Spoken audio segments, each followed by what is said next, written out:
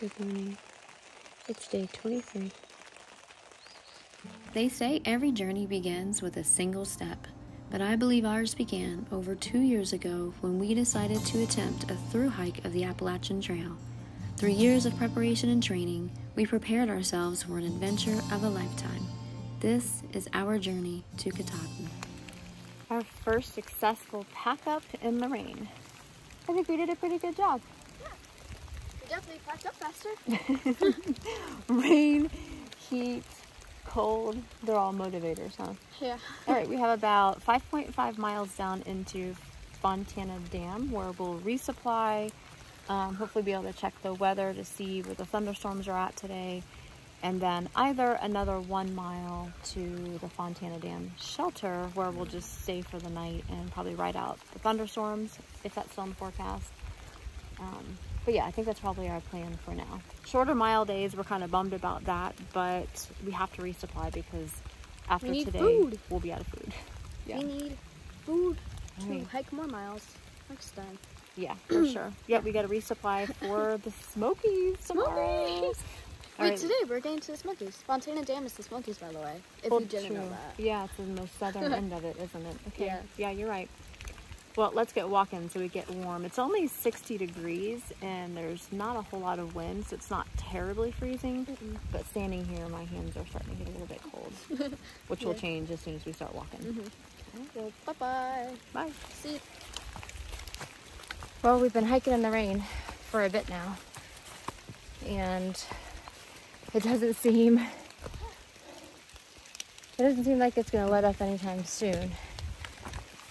And everything is very slippy, the roots especially. So we're being extremely cautious about these uphills and these downhills because both pose fall threats. But um, yeah, I'm not sure how much I'm going to be able to film today. So sorry. We'll do the best that we can, and at least for our memory's sake, which is the whole point of these vlogs, we'll remember this day for sure.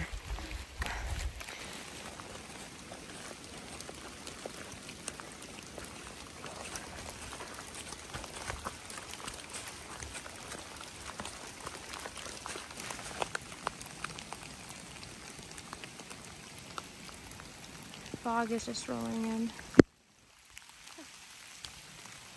As they would say frog. The frog It's is froggy out here. Yeah. You know, as I was sitting here hiking in this beautiful weather, that's probably sounded a little silly to you guys, but we really do mean it. Little Bear and I were just talking about um, the fact that it really is beautiful out here. The rain makes everything seem much more vibrant, like the colors are popping. And um, it's just, it's just pretty. It's just another season, I guess, really, that we're hiking in, which is currently right at the very moment it's rainy. And we're hiking in the clouds, next to some fog. Just is neat. But anyways, as I was sitting here hiking thinking, I was thinking to myself, our number one goal, our goals for this trip, have always been number one, don't die, right? I mean, that kind of governs all of our decisions as we make choices every single day. And then number two was um, really smiles over miles. And number three is Katahdin. Now, number three can also rank pretty high as well because we want to make it to Katahdin. That is our goal. We want to through hike the Appalachian Trail. And that means going from Springer Mountain to Mount Katahdin in Maine in one year. But as I was sitting here thinking a little bit more deeply, is yeah, of course we want to make it to Katahdin. But what I don't want to do is be so concerned about making it to Katahdin that we forget while we're out here. You know, enjoying every single moment, enjoying all of the beautiful things that there is to see, and remembering that life is a journey. And although sometimes we do have a goal that becomes a destination, life in and of itself isn't ever about the destination. It's about the journey and how you live it and how you experience it. Are you just existing? Or are you fully alive and living every single moment? So after safety, or don't die, goal number one, goal number two is to fully experience this trail and make choices that align with that goal. With Katahdin, of course, still ranking very, very high. Just my thoughts. Wow, look at the clouds.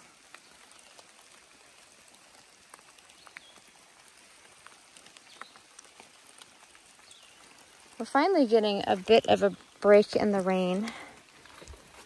Um, and that fun walk singing in the rain sort of ended about an hour into our hike today. It got um, really, really windy. The temperature dropped probably seven, eight degrees at least. I think it was down to like 50 and we started at about 60 so yeah more like 10 degrees. And um, it was cold. And somehow or another little bear's rain jacket wetted through. And so she got very cold. And because we have practiced and learned about hypothermia we stopped we switched my rain jacket with hers so i'm wearing hers She's now wearing mine. Put gloves on her. Gave her the umbrella. I'm carrying the trekking pole so she can be as safe as possible. Put hot hands in her gloves. How are you feeling now, little bear? Nice. Nice and warm. Good. Let me see your face. You're so cute. yeah, so we're completely soaked and wet. The trail, for the most part, has turned into a stream up until right about now. Right now it's drying out a little bit, but I'm gonna have to figure out what to do about this wet clothes rain jacket situation and look at the weather to see what's on the forecast for the next couple of days. I need to get her dried out and have dry hiking clothes. We always, just as a side note for anybody that's trying to learn or listen to what we've learned, we always, always, always have a pair of dry pants and shirt. They're for our sleep clothes. That way, if it had been an emergency and the weather had turned really bad up there, then we could have easily pitched our tent, put on our dry clothes, and jumped into our quilt but luckily that's not the case. And it was never a safety issue. It was just very, very uncomfortable. But part of being out here is getting comfortable with being uncomfortable. And Little Bear's a trooper. She's doing great. Definitely one of the toughest people I know.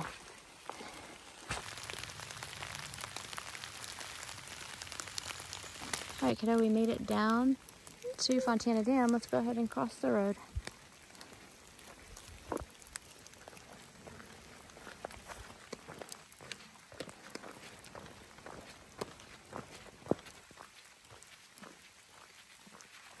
Let's see where we're going.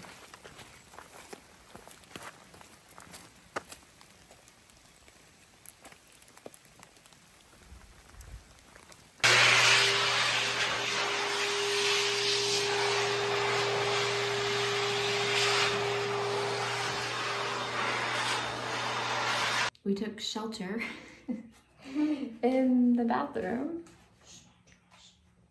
Jesus. And we, there's this awesome heater right here. I've been chilling over it for a while. Yeah, the little dryer. So we have um, changed clothes and put on some more warm clothes. But all of our base layers are completely wet and soaked through. So we've got our stuff sort of just hanging out, trying to dry a little bit. And I don't have any cell phone reception in here, so I, I'm not sure what our next step will be right now because we need food mm -hmm. and then we need to check the weather and figure out really um, what's the best thing for us. Oh, but for now, We shall eat our lunch. we're warm and we're toasty and we're eating our lunch in the bathroom. Yeah. Straight up hiker trash. Yeah. All right, we're heading down to the marina because we dried off as much as we can in the bathroom and um, just warmed up a bit.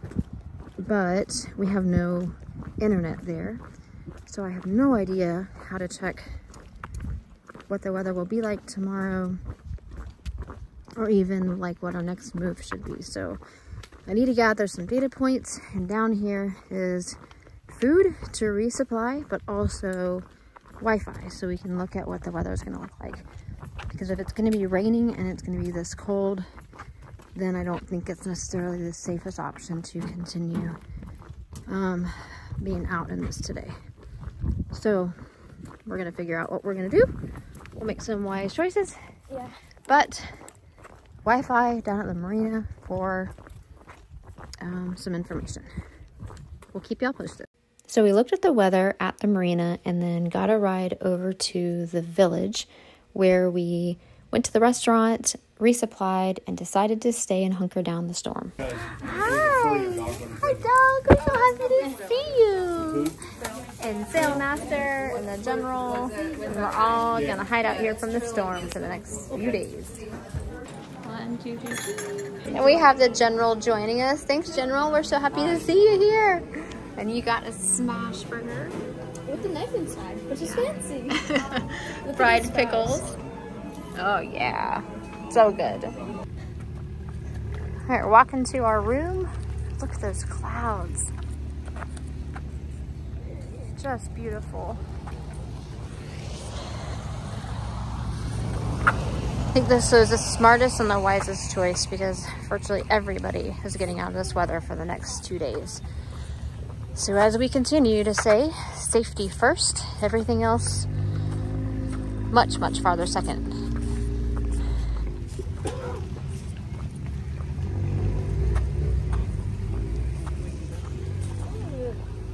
Nice place for the summer. Little lazy river, little pool. Let's recap day 24. 23. Okay, so let's recap day 23. Yes, let's. Because day 23 needs a recap. Yeah, it was a day today. It was a day. So we started out at Cable Gap Shelter, Yes. and we are now where?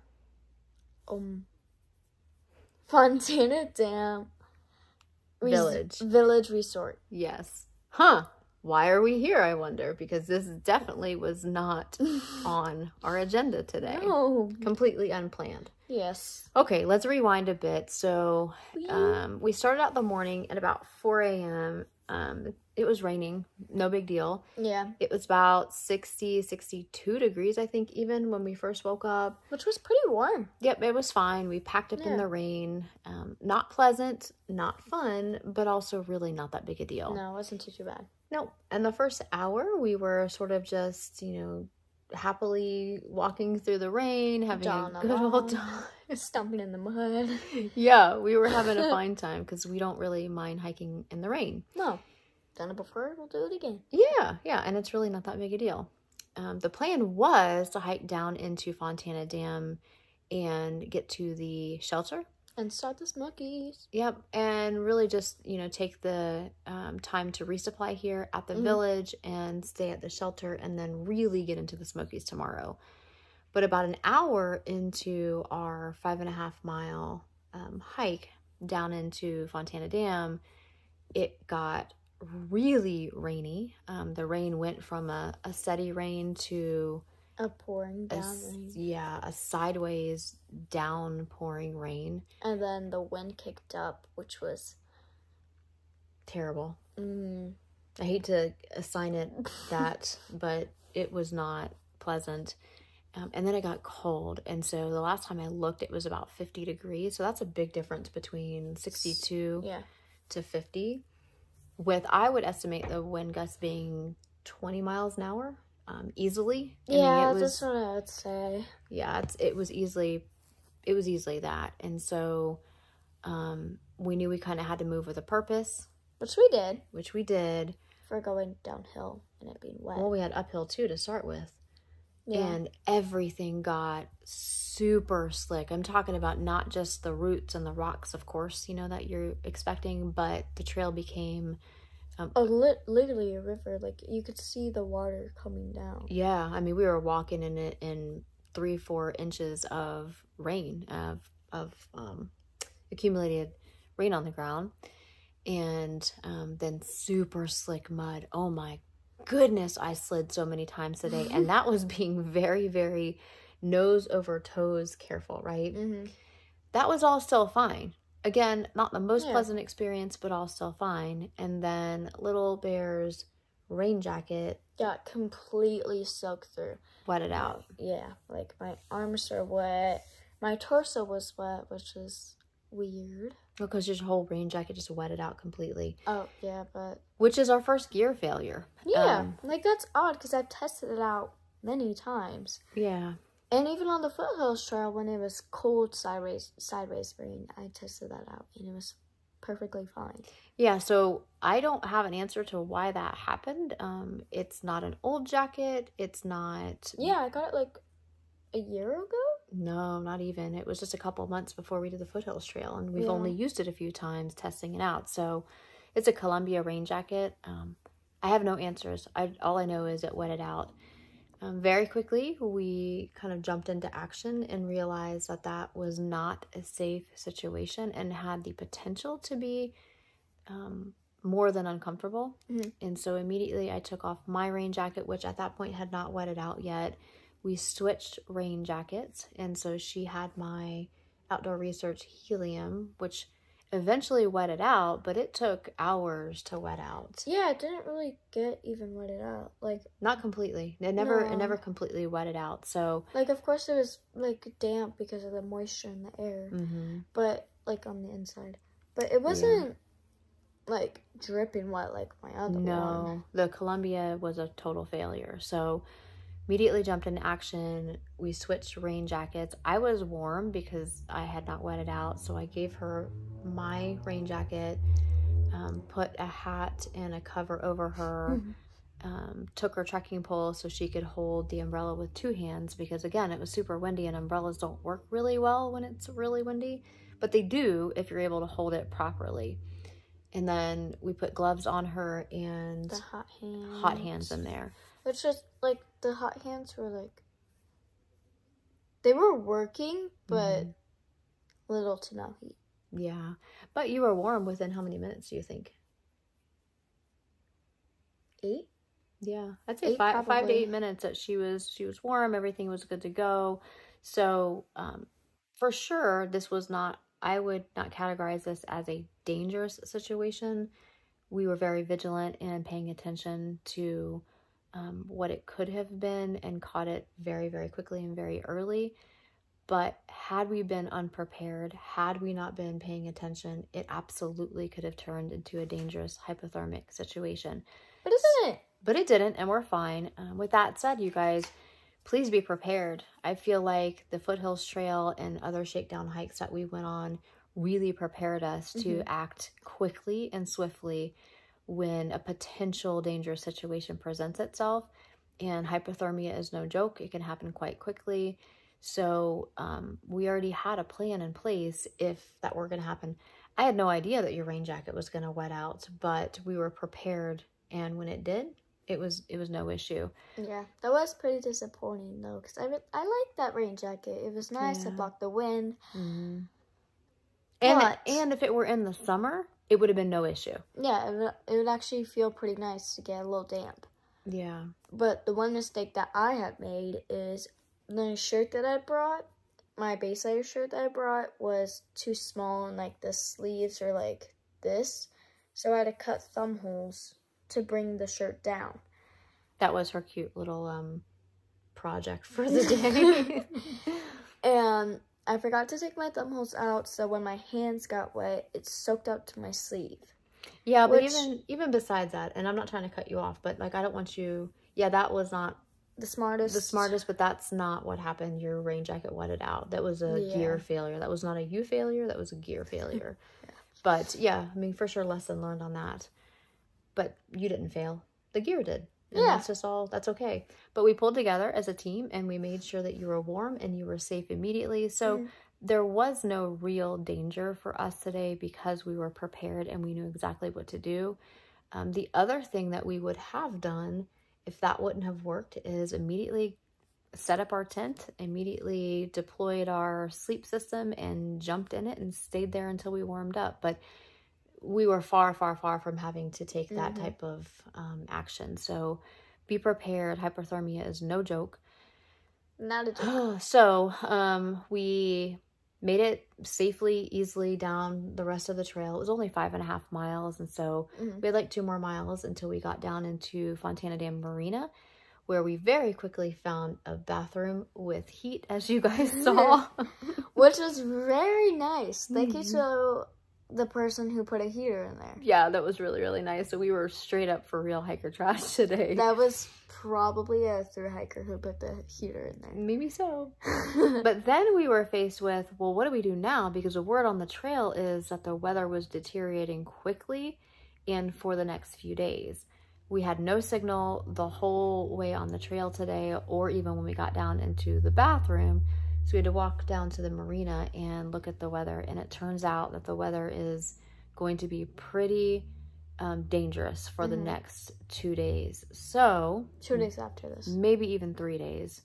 Yeah, the rest of today, all day tomorrow, um, and Thursday may be also a bad day, but we're not we're not we're not sure. So, as much as we didn't plan to be at a hotel tonight and tomorrow night, and to be honest, we're both a little bit disappointed because we were on a roll. We were back in the game, and we were, you know, doing bigger miles than we had, you know, previously done consistently and we're excited to start the Smokies tomorrow. And we're like, dang. But Mm, Real knee slapper. yeah, this is part of the journey. Yes. It will always be safety first. Virtually every single through hiker that's hiking around us is here in this. Staying the three days. Yeah, because it's been it's dangerous, and um, everybody, including a past AT through hiker that we've become friends with, said that we are 100% doing the right thing. He's doing the same thing. He strongly encouraged us not to get on trail tomorrow or possibly the next day, depending on what the weather looks like. So um, we're being smart, as we've always said, safety first. And so, yes, we're kind of bummed that we're here. I mean, we're enjoying this bed that we're in right now in the hot shower Yeah. um, and the heater. and the heater uh, because this is nice. But we really, really, really were excited about the roll we were on with all the miles and stuff. So it's okay. It's a tiny little bit of a setback. This is to be expected. Um, Probably and gonna happen again. Probably gonna happen again. Being honest. Yep. But let me just refresh your memory of the two goals. Mhm. The number one goal, don't die. Just just don't die. And the second goal is to make it to Maine and Yeah. somewhat Katahdin. So, in order not to die, which we won't, We're gonna stay here for the next few days and just um, keep our safety in check. keep ourselves safe. Yeah, it's a pretty big severe weather system that's supposed to move through in the next couple of days. So we'll see. We'll see how it happens. Hopefully it'll be over um, in the next two days. If not, we'll reassess and reevaluate and we will make the necessary choices to keep ourselves safe because number one goal. You're right. Yeah. Okay, well, real quick, I know we've been talking for 11 minutes. So, um, what was your highlight for today? The highlight, um, I was super cold and I am very glad that I got warm again. So that was my highlight. So, your highlight is a warmth, a shower, maybe? hmm The, the that's part of the warmth. Yeah. So Let's yeah, see, my, warmth. My highlight um, was watching us work together as a team when we knew time was of the essence, when Mhm. you were cold and wet. And we just took care of business. No worries. We moved with a purpose and we got stuff done. Certainly did. Everybody's safe. And so that was my highlight. What is your character builder for today? Character builder? Mm, I was starting to panic a little bit, if I'm being completely honest. And once I realized that I just need to chill out, get warm, and kind of just like focus on my breathing and try to calm down and reassess what was really happening and it wasn't all that bad, then I was all better and that was my character builder. Yeah. Did during that time did I say anything to you to help you Yes, of kind course. of realize that? Okay, Yes. good. Good. Of course. I can't remember what exactly you said, but I do remember you, me hearing your voice and slowly starting to calm down. Yeah. I just said it's gonna be okay. You're, Yeah. you're safe. You're not in danger, and it's gonna be fun. Yeah. Right. Yep. So great. Yep. My character builder today was, um, honestly, I think having to overcome the sort of frustration or the disappointment of, man, we're in a hotel again. This is not where I want to be, and this is not the progress that I want to make. But then talking to um, one of the past AT through hikers who's doing it again for the second time, just reassured me. He's like, "You're doing exactly what you need to do. This is exactly how this this works. You are still making great time. You have plenty of time. You guys are fast." So he was just very encouraging, and um, yeah, and the fact that everybody else is here also shows me that we've made the right decision too because there's nobody going back on trail tomorrow or the next day so at least out of the probably 25 to 30 people that mm-hmm. we have come in contact with in the last few hours being here so thank you for watching thank you guys for always supporting us and lifting us up we appreciate you so much Ellie, here you guys go. You're welcome. I had to I had to take her out of my pack. Before we started recording, I was like, you know, too much people are waiting for her. I'm just gonna get her out of my pack. and I had to get out of this bed. Is. ellie cameo Ellie. love and light to you guys and we will see you tomorrow not sure what, what we'll show you tomorrow what we're going to be doing tomorrow We but will be getting breakfast and we do recommend the restaurant. Mhm. Can't remember what it's called. i don't know but we're going to stay safe out of the rain Yeah. Bye bye. bye Love you. love you bye